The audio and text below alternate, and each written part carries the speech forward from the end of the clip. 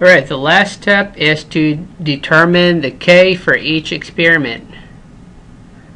So click on the first cell for K. K is equal to type equals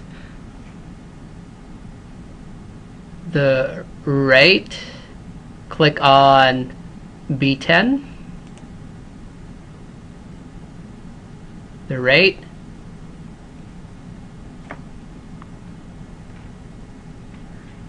divided by open parentheses.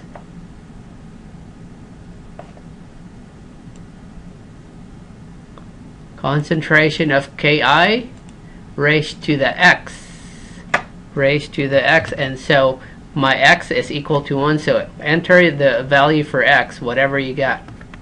Times. Click on the concentration of H2O2 raised to the y, whatever y you got, my y is e also equal to 1, 1. And then close parentheses. And that should give me, that should give me the k for my experiment 1.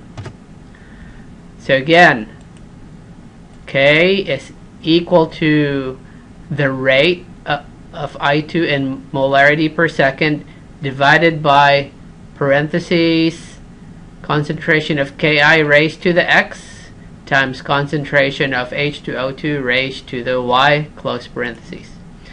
And so now you just you just uh, go to the bottom right of that cell and drag and, and drag. Of course, we don't have that there. So that is the K for each uh, experiment.